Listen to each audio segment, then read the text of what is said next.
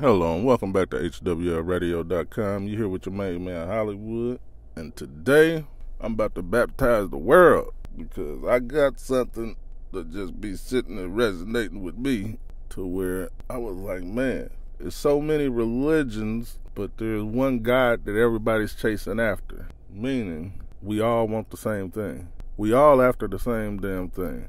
So if we all after the same thing, how do we all keep getting into it over fucking names, branches, fucking groups, shit like that? To where I was like, man, if the the beginning of the black people coming together on one accord is the Israelites and the Muslims coming together. So, Brother Nathaniel, Minister, the Honorable Minister Farrakhan, y'all need to figure it out because y'all are the two that I see that are the most rooted into the laws of the land, the Muslims and the Israelites. So, I just feel like that'll be a big start, a big beginning because they both powerful people with a huge following of our people because our people only follow what the masses do. And if we can have masses of our people coming together on one accord, then what are the others gonna do? They're gonna fall in line or fall off. But that's the way that this shit is gonna come together. The Israelites and the Muslims coming together on one accord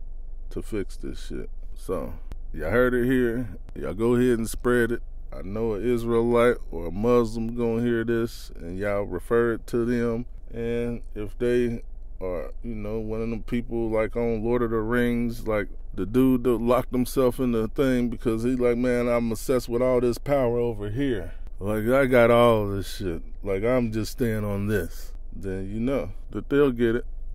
They'll get it eventually, if not right away. You gotta let everybody have their own time to deal with things, decipher things. Like I said, I'm not making the decision. I'm just saying them two need to have some conversations and think of a way to get all of our people on one accord. Instead of like, hey man, fuck what you talking about, you a Muslim. Nah man, fuck what you talking about, you an Israelite.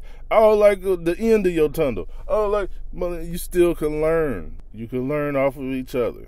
That's what I'm saying. Like Christian, Muslim, Israelite, Jehovah Witness, if you study and you do research, y'all gonna have the same shit. You gonna have the same shit. And then both of y'all together can break down. And then you know what? Logical people will find out where we was all wrong, especially a group, and be like, damn, okay, this is. And that'll be better instead of just one religion telling you this and then another religion telling you that. Then you see why the people are so fucking confused. That's the way they did it in the old days. That's the way they did it in Lord of the Rings, which shows you the Jews running. That's what I'm saying. People be missing this shit in the movies. But that's what they did back in the old days. It was a leader of each group and they came together. That was the meetings they had. So we need to take the Muslim, the Christian, the Israelite, all of them need to come together on one group and come together on a way to get our people on one accord. And I just said enough there. So shit. Y'all know what to do with this. So make sure y'all subscribe to the channel. Go over to HWLradio.com. Download the radio station app. Make sure you check out the sponsors page and shit. I'm out. And always remember, religion's just another argument to distract us from coming together.